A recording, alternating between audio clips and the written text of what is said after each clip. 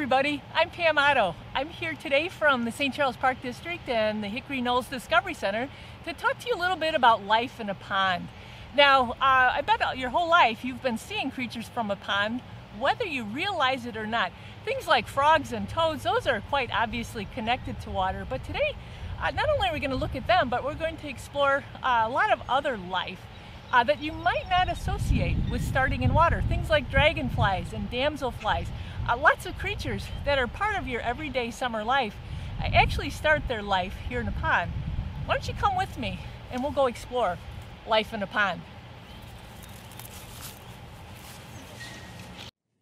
All right, so we're, uh, we're indoors now uh, after our collecting adventure, and we're going to explore the creatures that we found when we dipped our net into that pond.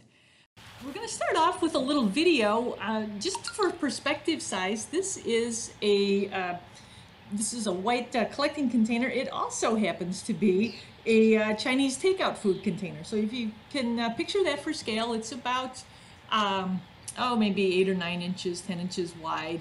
Um, within this container, we have a multitude of creatures. You'll notice we've got a lot of tadpoles. These small dark ones are uh, toad tadpoles. As uh, the video progresses, you're going to see that we have a larger tadpole in there too. That is the tadpole of a green frog. Let's take a look. Creatures. Um, I'll dip in with my finger here.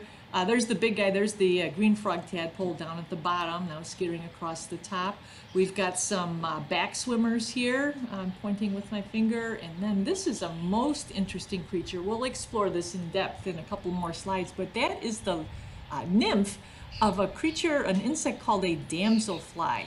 Uh, I'm moving its back end in the water. Those three little tails there on the back of that nymph are actually its gills. That's how it takes oxygen into its body.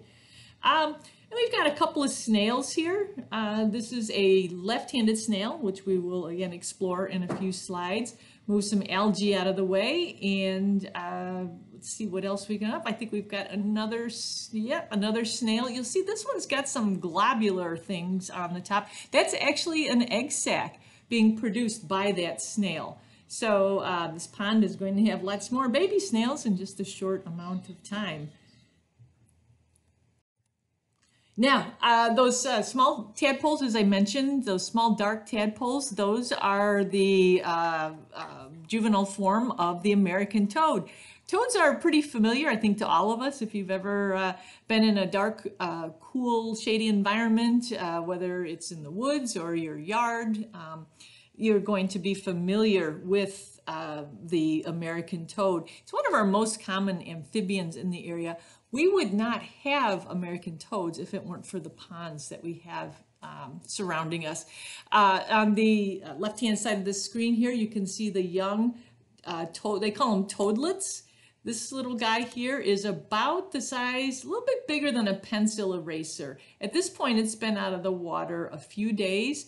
Uh, the, the, metamorphosis that frogs and toads undergo is just astounding.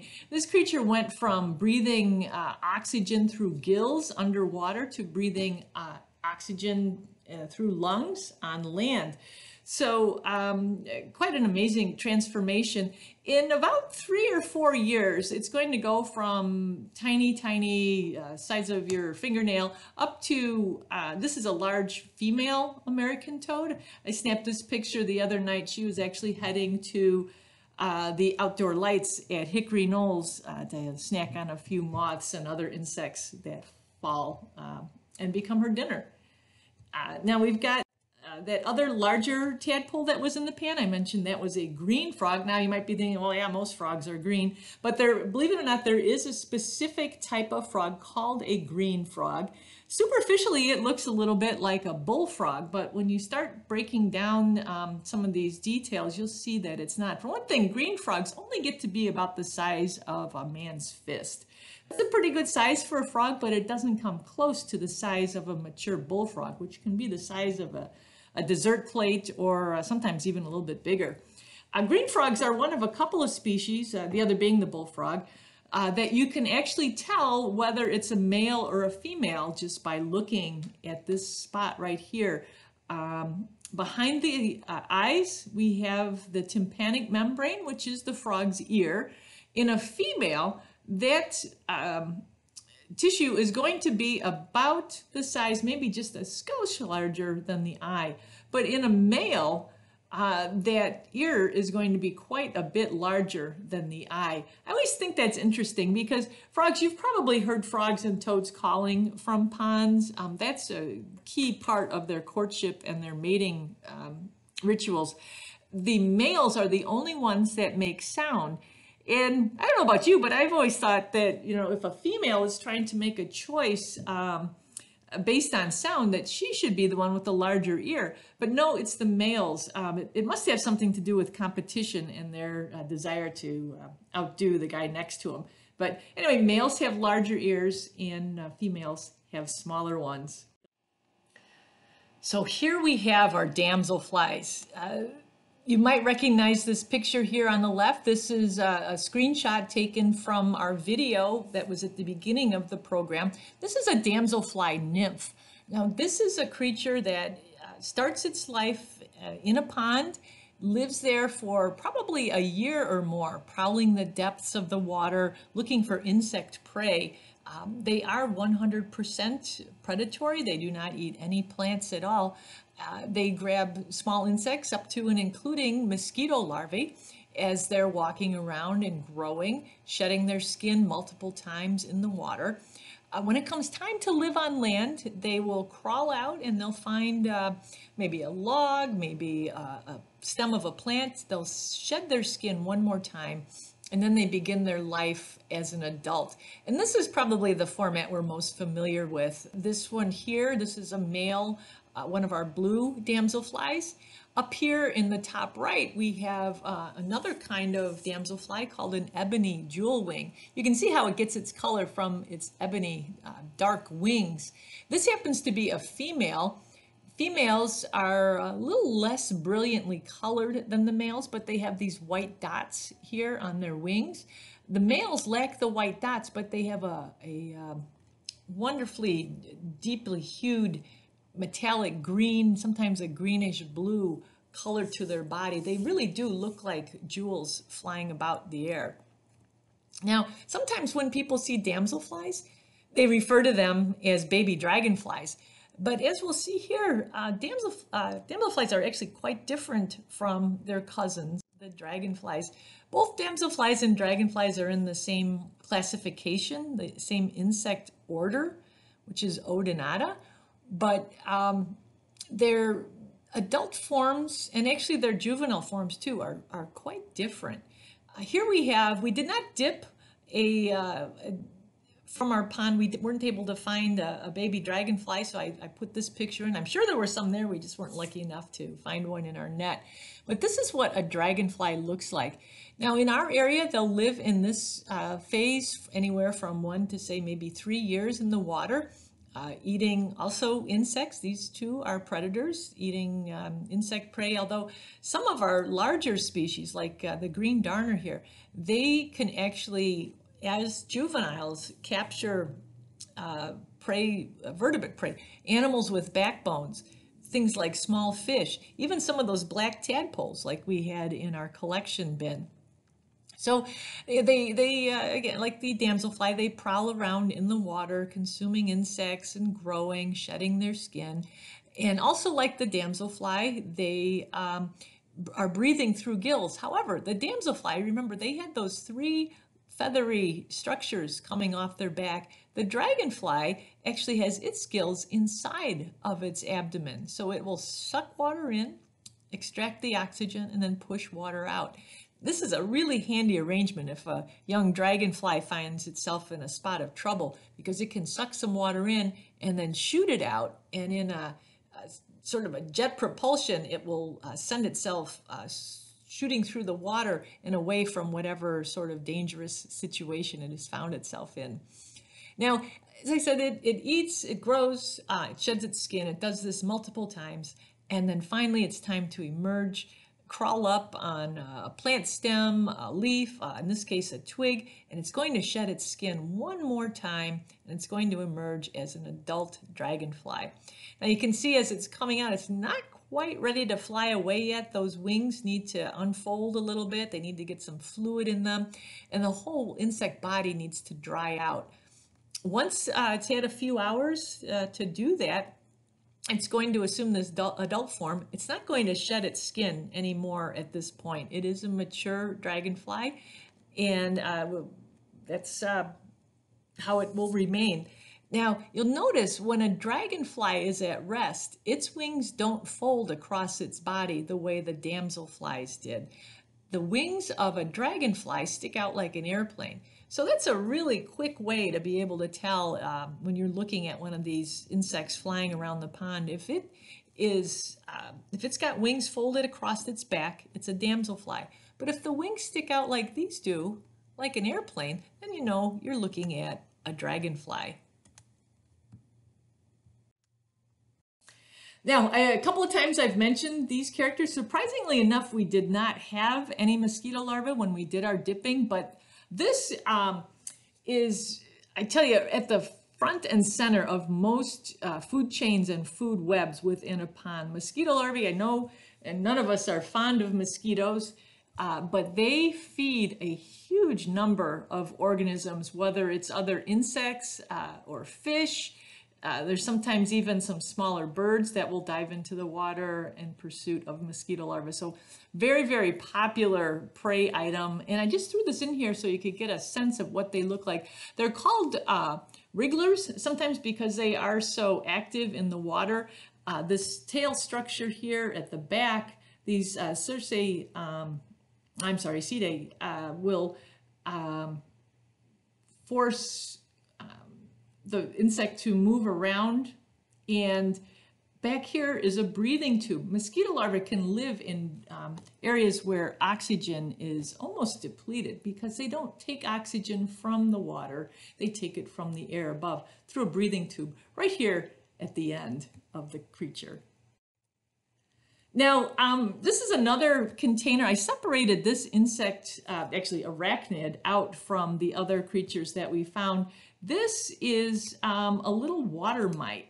Uh, and by little, uh, it's actually for a mite, it's quite large. This too is approach the size of a, a pencil eraser. Um, is uh, in their immature stages, uh, aquatic mites uh, tend to live parasitically on other insects, and then as adults, they become predators. Watch this little one move through the water you can just imagine it scuttling through uh, the, the silt and the sediment at the bottom of the pond in search of prey items like, you guessed it, mosquito larvae. Um, and this um, here shows um, our back swimmer. This was from our collecting pan. Uh, there's another very similar creature called a water boatman. Uh, the only, uh, well, there's a few differences, but the big difference is that the water boatman swims what I would consider right side up, and the back swimmer swims upside down. If we look at this photo on the right, you'll see um, here's the water's surface, and then here's the back swimmer. Here's its oar-like legs that it uses to uh, swim around with. Right here, this is very important. This beak is a piercing and sucking mouth part. This is its key to survival. As it swims around, it can grab insects uh, with these forelegs and then it uh, literally sucks the life out of them. A lot of different insects are on the menu, but of course one of them is the mosquito larva. This bottom shot here, this shows what the what we would consider to be the top of the insect, even though uh, it's um, at the bottom as it swims. Look at this neat uh, camouflage. These back swimmers are um, very light colored on the back. And when you think about it, that makes a lot of sense. When they're swimming on their backs in the water, anything that's below them is going to be looking up. There's going to be sunshine or light colors from the sky. Uh, so uh, this insect is actually better served by having a white back than a dark back. It helps uh, with its camouflage and its blending in of its surroundings. Now, you noticed in our pan we had a couple of snails, and I, I want to toss this one out. I don't know uh, if you know that we actually have left-handed snails and right-handed snails. Um, the difference um, can be told by placing the snail in your hand with the pointed end facing away from you. Then when you look down to the opening of the snail, the, uh, if the opening's on the right, it's a right-handed snail. If the opening is on the left, it's a left-handed snail. You'll notice on our uh, illustration here, this, these are also called gilled snails and lunged snails. Now that's probably uh, not a, a, hugely important factor to you as a human being, but I tell you to these snails, it is um, literally a matter of life and death. Gilled snails right-handed snails, they breathe oxygen in through gills. So they must be able, they must be able to find water that has enough oxygen in it that they can survive. Um, a lunged snail, however, um, they will actually go to the surface and take oxygen from the air. So they can live in very oxygen poor water. Uh, sometimes no oxygen exists and they can still manage to survive. Um, and it's kind of a fun trick too, to, to find a snail. Uh, again, make it point away from you, stick that end out uh, so it's pointing away, maybe towards a friend. Um, and uh, look and see what side the opening is on. Now, a left-handed friend of mine uh, helped me remember which is which in terms of gills or lungs. Um, typically where lunged snails live, if there's no oxygen, it's, it's usually a sort of a degraded environment. Sometimes there's a hefty amount of pollution there. And uh, again, these are the left-handed snails. My left-handed friend told me that they are used to putting up with a lot of, uh, shall we say, stuff from right-handed people. So uh, left-handed people, um, left-handed snails are, are used to living um, with uh, a lot of stuff to deal with. Right-handed snails, they can uh, survive in a little bit cleaner conditions. Now I threw this other picture in just because these pop up from time to time. The Chinese mystery snail is what we have over here on the right. And you'll notice it is huge.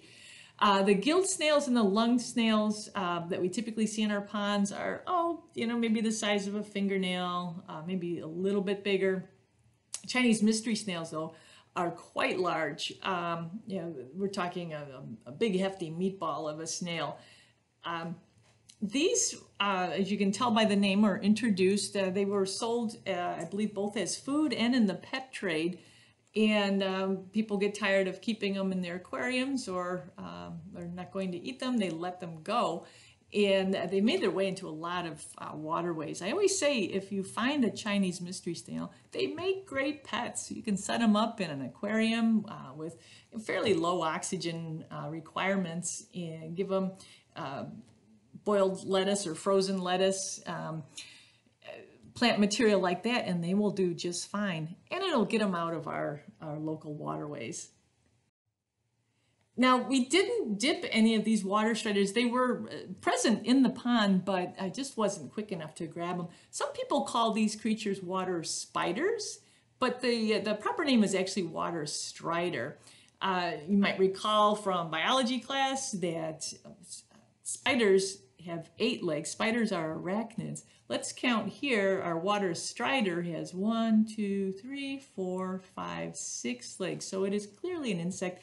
Uh, some people call these pond skaters because of the way they're able to use the surface tension on the water to skate along.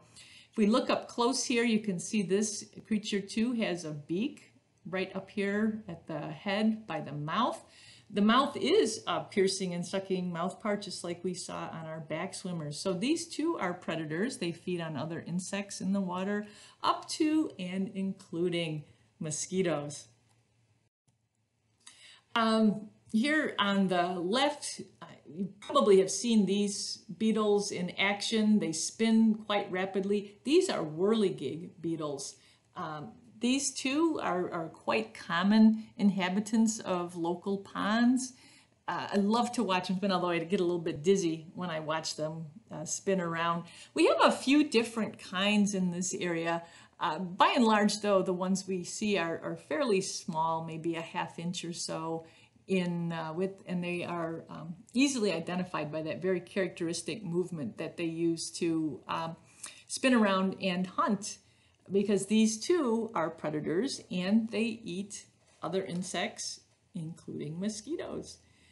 On the right here, we have uh, the larva of the whirligig beetle and kind of gives you um, a perspective of uh, just how fierce of predators these creatures can be. Look at those jaws sticking out here. These mandibles are quite uh, sharp and they're quite large uh, considering the size of this uh, insect, which is just a little bit over an inch at this point. Um, again, they are predators and they feed on other insects, including mosquitoes. Seeing a theme here? A predaceous diving beetle doesn't need a lot of introduction. They are predators as well, feeding on other insects in the pond. They're characterized by their ability to dive down to the bottom. Uh, so in, in, addition to uh, cruising around uh, using these legs as oars, they are able to push themselves down, down, down and uh, plumb the depths of the pond for their food, which includes insects. Here too, we've got a nice shot of the predaceous diving beetle larva. And again, these large uh, mouth parts that are ready to uh, grab, pierce, and consume lots of different insect prey, including mosquitoes. The giant water bug. Now there's a couple different types of giant water bug. The one we tend to see in this area is about an inch, uh, inch and a half long. Um, they too are predators, uh, but they have a, quite an endearing quality. Um, they, they swim through the water. Uh, they typically look like this uh, individual here on the left, but every once in a while you get lucky and you find a parent water bug.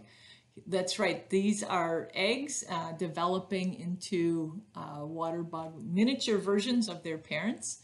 And um, you might think this is mom, but um, she can't lay eggs on top of herself. She actually lays her eggs on top of dad. So this is a male giant water bug uh, doing his uh, proper parental duties, uh, defending his brood and uh, making sure they stay safe until uh, they hatch and then um, start exploring the world on their own. Now, uh, when we were dipping in the pond, um, we did not find any of this creature here, but I know you're familiar with it. This is a caddisfly, and I tell you, we have dozens and dozens of different types of caddisflies. Uh, if any of you ever um, have traveled into downtown Geneva or St. Charles or Batavia, really any of our river towns, you're probably familiar uh, in the summertime with the river bugs. They're the small uh, they look like little brown moths. Well, those are actually the adult form of the caddisfly. And um, it's, it's, this insect is, is really interesting in that they are not, um, well, they, they are actually the, the aquatic version of a moth. They're not moths themselves, but they are the aquatic um, kind of equivalent of it. You can see the larvae looks very much like a caterpillar except it lives in water and it breathes through gills. Um, this soft body, you can imagine, is quite attractive to a number of different types of predators. So caddisflies have uh, developed a way of defending themselves. Now, uh, in the river, there are some that, that um, just kind of swim around freely and, and they do get consumed at a pretty rapid rate by fish and, and other predators. But uh, there's a lot of caddisflies who will actually um, build their case um, by gluing materials together. Now in ponds, they tend to use plant material. So here we've got these brown bits here. Uh, they look like uh, strips of maybe cattail leaves. We've got some duckweed here glued around the front. Um, this, if um, I'd been a little bit better photographer, you would be able to see there was a little head that would stick out here. When I found this um, in a pond, I really thought it was just a clump of uh, plant material. I didn't realize until I watched it, um, watched it moving through the water, and it had a definite. wasn't just being pushed along by um, by the breeze. It had a very definite uh, way that it was combing the surface, uh, looking for um, little bits of, of plant matter uh, to feed upon. Now, um, this little illustration down here, this shows um, where the, the life of a uh, river dwelling caddisfly. They are a little bit more danger of being carried away in a, in a pond. You know, there's no current. So, so they can afford to have a case that's, uh, you know, that floats and um, they can carry themselves around the pond um, without worry of being washed away. In a river, they've got uh, the caddisfly species that live in rivers, they tend to have gripping, um, strong legs that they can hold on to the rocks that they uh, they live upon, and then they they also uh, will glue their um, their houses together. Uh, they'll make them, you know, like the three little pigs. Uh, the uh, pond dwelling caddisflies use uh, straw or plant material, and the river dwelling caddisflies make their houses out of stone. Uh, sometimes they're able to walk around and carry these blocks with them. Sometimes they actually adhere these stones to the water, again, so they won't wash away. So um, they, uh, these caddisfly larvae will live in the water for a period of about a year, and then they hatch uh, en masse and come out in uh, groups of hundreds of thousands, sometimes in the millions. Again, if you've been in one of our river towns in the summertime in the midst of an emergence, uh, you're going to see them around the streetlights. You're going to see them caught in spider webs. You might even have to sweep them off the windshield of your car. Uh, here we have a picture of a one of the larger species of caddisfly. This is one that would emerge from a pond. You can see it's uh, it's over an inch in length um, on the left, I'm sorry, on the right-hand side here, we have um, a close-up view of the more common river species. Uh, again, this one that's on my hand is, uh, oh, an inch or more in length, an inch and a half to two inches when you include the antennae. Uh, on the uh, right-hand side, these caddisflies are, um, oh gosh, you know, an inch or less in size plentiful food for all kinds of insectivorous, the insect-eating birds. So they, they do play a valuable role. Uh, people, though, wonder all the time, oh, what are we going to do with all these river bugs? But you notice we never um, end up with a, a pile at the end of the summer. They all go away. They uh, get uh, swept up um, they get swept away in the, the rivers. They're, they're wonderful food for fish. And then we have many um, insect-eating birds that feast on the, the fat and uh, nutrient-rich bodies of the caddisflies. Now, in our little uh, pond sampler, there were lots of, actually they looked like um, little bits of dirt moving around, but they were actually living creatures. This is a Daphnia, uh, also known as a water flea. These creatures are filter feeders. They uh, will uh, use their um, the motion that is actually generated by their antennae to swim through the water and they will slurp and um, again, the antenna will, will uh, force water through the body. Boy, I'm getting dizzy watching this. but um, they are filtering out the very fine, fine particles that are present in a water environment. Uh, we're talking about minute little specks of algae, uh, little uh, zooplankton, tiny, minute creatures.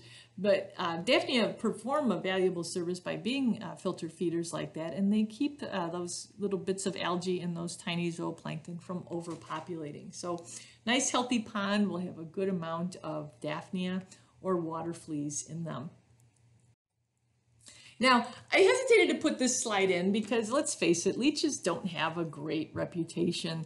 Um, but you know, I have come to really admire these creatures. You'll see on uh, the left here, I have a picture of a turtle. You might wonder, why are we talking about leeches and having a picture of a turtle? Well, if we turn around, uh, go to the back end of the turtle, what do we find but a big, fat leech? Now, there are um, several different types of leeches that can live in pond environments, but they're not really interested, at least not the ones we have around here, they are not the least bit interested in human flesh. Um, they're mostly uh, geared towards living on a certain type of organism. A turtle leech will only feed on turtles. believe me, I tried. Here's a here's that same leech. I actually took it back to my office and kept it. I, I was captivated by the delicate uh, uh, designs that it has on its back here. Um, I also uh, was able to watch it. It lived in a in a gallon pickle jar on my desk for uh, a couple of years. Actually, I didn't know leeches lasted that long, but um, I uh, tried to feed it with my own blood, and it would have no part of it. I say it because um, leeches are hermaphrodites; they are male and female combined. But I thought, well, this will be an easy way to give it a meal wasn't interested. I uh, went to the butcher. I got some beef liver because some uh, types of leeches will feed on beef liver. These do not. Uh, let's see, what else did I try? I tried uh, a piece of steak. I tried a piece of chicken. Finally, I uh, went into the Hickory Knolls turtle pond and I got uh, one of our painted turtles. I put the leech on. And within, I would say, five minutes, it had navigated down to the soft um, uh, skin on the leg and it attached itself and it had a nice meal and when it was done it dropped off and lived quite happily for another oh gosh four or five months. Um, they can go quite a, a, long period of time in between taking meals like that. And again the, the leeches in our area they do tend to, to be very specific to uh, certain types of animals. So as i was waiting around in the pond uh, I didn't have any worries about uh, coming home with a leech. Now, uh, surrounding our ponds, we have a variety of plant life. I, I, didn't capture any of it. I didn't bring any of it in because um, uh, the um, the seeds of, I, I, pulled out these three species because they're, they're ones we, we kind of want to keep an eye on in our local ponds. We've got a couple of introduced species and then we've got a native one here. Uh, if you're out and about and you see a pond or an aquatic, um, say a, it could be a retention pond, it could be um, a marsh, but more and more we're seeing this plant here. It's called, one name is Phragmites. They're also known as giant reeds. They were introduced from Europe. They were actually used uh, way back in the day. They, they were used to make thatched roofs. Um, they were, were uh, introduced into this country. Uh, we do have a native Phragmites, but it is not nearly as uh, invasive as the introduced species. And this one we'll see in retention ponds around the area. Once it's introduced, it's really hard uh, to get rid of and it can actually invade to the point of using up all the um, the space that's supposed to be retaining water and um, use that for uh, fueling its own growth. But um, these seed heads here are the reason why we have so many Phragmites in our area.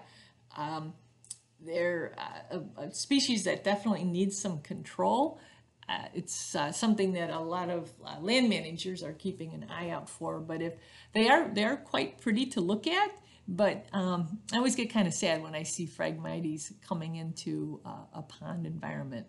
Now, cattails, you're probably familiar with them. Uh, they were one of my favorite plants as a kid growing up until um, I found out how uh, sharp the blades can be on the um, on the leaves of these cattails. I got quite cut up one day when I was running after a frog and running through cattails, but that's another story for another time. I wanted to, to call your attention though to the fact that we actually have a couple different species of cattails. Now, um, the narrow leaf cattail is the introduced species. And um, when you look at these seed heads, these brown flowers that the, uh, the cattail grows, these will, each one of these cattail flowers will produce thousands of seeds. Um, it's also true of our, our uh, native species here, the broadleaf cattail. The thing with the narrow leaf, though, is that it doesn't have many predators. Uh, doesn't have many things that eat it. There's a, a cattail moth um, and its caterpillars. Uh, they can only eat so much uh, cattail. The, the main species that controls cattails in this area is the muskrat. Now the muskrat um, does a, a, fine job uh, of eating broadleaf cattails, but it rarely, if ever, will feed on a narrowleaf cattail. Um, so uh, when you see a pond that's getting quite overgrown with cattails, chances are it's been invaded by this species here, the narrow-leaf cattail. And you might be looking at this going, well, gee whiz, Pam, these cattails look identical. But let's break it down a little bit. Uh, and let's use a uh, common unit of measure, the corn dog. Um, if you see a cattail and it's got a flower head on it that's about the size of a corn dog, that you'd get at the fair. Not the footlongs, but the regular sized corn dogs. That's a broadleaf cattail. Um, it's aptly named because its uh, leaves are quite broad. Uh, usually, um, some of them can be up to an inch in width. So broad leaves and a sort of a squat, uh, fat sort of a flower and seed head that forms. Now, our narrow leaf cattails, uh, the seed head is much longer and uh, sometimes thinner um, it would be similar to, say, a, a foot-long hot dog. Um, they are, uh, the, the other troubling part about this plant is that it sometimes hybridizes with the broadleaf cattail. Um, it can produce uh, seed heads that are somewhere in between these two extremes, um, and the leaves are equally unpalatable to creatures like muskrats. So um, narrowleaf cattail, nah, broadleaf cattail, Yay. Um, let's hope that we see lots of these in our local uh, pond environments. So, you know, as we've looked through the different creatures that live in the pond, you might be thinking, well, you know, why do all these things matter? You know, think of them as building blocks. Those those little insects, uh, the, the frogs, the tadpoles, uh, all those little tiny things we saw, they are just one link in a very, very large chain that actually grows into a large food web, uh, a whole ecosystem of life revolving around a pond. Um, reptiles like turtles and snakes are often found in, found in pond environments. Probably our most common reptile, um, commonly found reptile is the um, painted turtle. Now, in some of our larger ponds, we might get a big snapping turtle that moves into, but the, the painted turtles, they're so adaptable. They can live in uh, small, medium, or large ponds. Uh, when we look at other reptiles, the, uh, the other very, very common species that tends to move in around a pond is a garter snake. Garter snakes, um, this uh, particular type here is um, the Chicago region variation of the eastern or common garter snake. We call it a, a Chicago garter because of these little bands, these uh, bars here that traverse the yellow stripe on the side. Uh, garters love to eat tadpoles. Garters love to eat fish.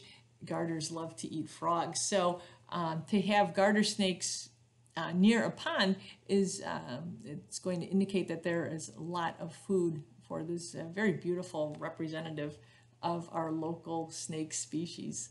Um, fish, depending on the type of pond, we can have lots of different kinds, or we could have a few different kinds, or if the pond is very small, we could have no different kinds. Um, carp often are, uh, there's a, a, species of carp called a grass carp that is sometimes introduced to help control the vegetation within a pond. Um, sometimes sportsmen will introduce things like bluegills and largemouth bass. Uh, and then we will sometimes also get varieties of, of smaller fish like uh, minnows that will live in a pond environment. Again, um, big feeders upon all those insects that we looked at at the beginning of the program, uh, including mosquito larvae.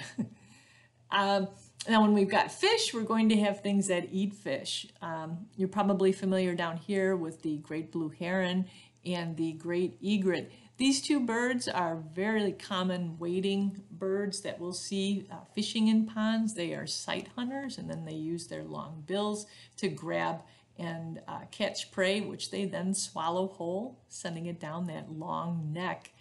Um, they will wade uh, in the shallows, uh, stand very, very still, and then quickly strike and grab their prey.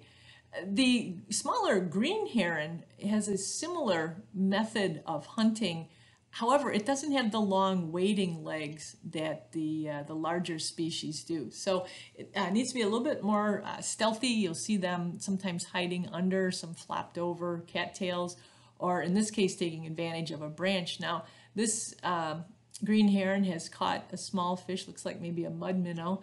Um, oftentimes, these uh, green herons will uh, find a surface like this, like the the uh, hard edge of a stick, and then will smack, uh, kind of subdue the fish until it stops struggling, and then they'll swallow it down. And of course, now I wouldn't be able to, to uh, finish up a, a, talk about a pond without bringing up everyone's favorite, the red-winged blackbird. Um, this bird is um, enjoying a, bit of a, a, uptick in numbers in the Chicago area, I think because of the number of ponds we've put in.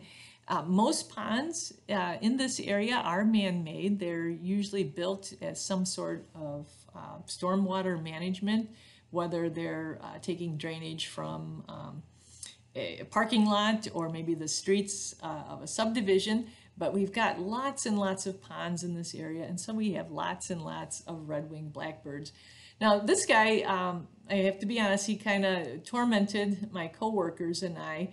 Uh, he would sit uh, above a small pond that we have near Hickory Knolls, and you can see he's uh, letting us have it.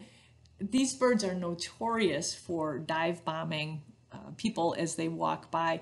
It, it, you'd think it would occur all the time because of the, the reputation they have, but it actually is, is very tied into their breeding cycle, and it only occurs over a period of a few weeks in the summertime.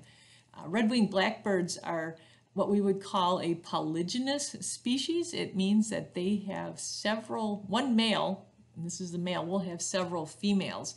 Now the female is, is uh, quite hard to spot. Um, she looks basically like a giant sparrow. She's got brown uh, coloration. She's meant to camouflage in the, uh, the tall grasses, uh, which is where they build their nests.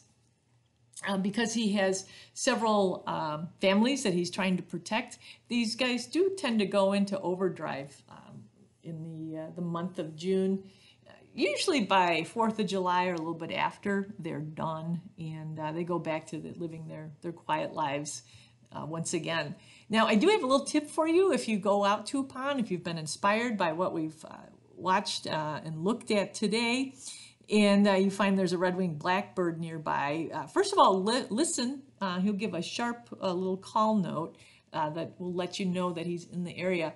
But if you can keep your eyes on the bird, um, he's going to leave you alone. red-winged blackbird, as much as he wants to defend his territory and his offspring, his mates, he is not going to want to fly towards eyes. Think of it this way um, a lot of uh, predators uh, that menace these birds um, they their eyes are situated on the front of their head. So say there's a, uh, a feral cat that is threatening the nest of a red-winged blackbird if he were to fly towards the front of the cat towards the eyes of the cat that cat could reach up give it a smack with its claws and that might be the end of mr red-winged blackbird However, if he flies towards the back and he just gives the cat a bonk on the head, he's going to survive and chances are the cat's going to move on.